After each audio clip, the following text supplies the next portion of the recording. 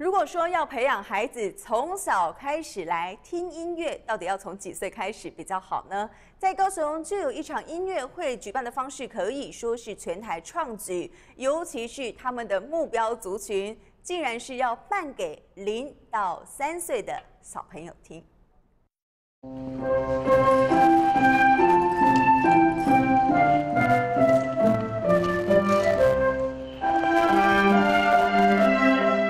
高雄市立交响乐团演奏莫扎特知名的小星星变奏曲，台上乐团卖力表演，台下观众则是用心聆听。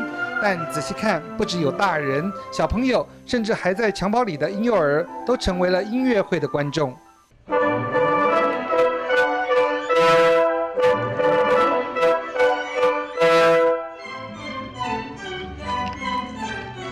那我们希望借由这次音乐会。的这个机会呢，可以让家长呢带着小朋友来呃体验这个古典音乐。那所以呢，呃，我第一个我们刚才已经讲过讲过了，我们的音乐的短短的三分钟左右，呃，都非常有特色，也有专业的这个导聆。然后第二个呢，我们也不会介意小朋友呢在音乐会的当中呢发出声音啊，或者是动来动去的，这都没有关系。所以我们非常欢迎家长呢带着小朋友很轻松的来体验我们这场演出。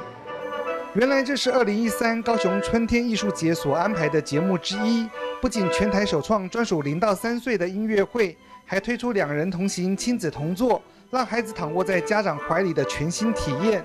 曲目上也挑选适合亲子间的乐曲，让人大开眼界。然后这次呢，我们的曲目呢都非常的特别，包含着有这个舞蹈性的、有律动性的，然后有故事性的音乐，还有莫扎特天才、非常天才的这个钢键键盘音乐。我发现小孩很喜欢，这是最重要的。就是如果对小孩很好，小孩受不了跑来跑去，那也是枉然嘛。那他们听得很开心啊，都可以坐着，我觉得很棒。放松心情，带着小孩一块聆听古典音乐，不用再担心哭闹，也能拉近亲子间的感情。还有妈妈带着襁褓里的孩子，就连孕妇也出现会场，希望提前让肚子里的宝宝感受一下古典音乐之美。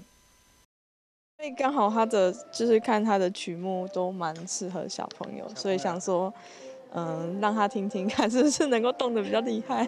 呃，这种音乐可以陶冶他的身心嘛，然后培养气质啊，然后希望小朋友可以该活泼时候活泼，该安静的时候安静。这项名为《小小阿玛迪斯》的音乐会，五月十九号将在文化中心志德堂登场。台上演奏的古典音乐与台下可能会出现的菩提声，会擦出怎么样的火花？届时就能分晓。港东新闻王思武、彭观音采访报道。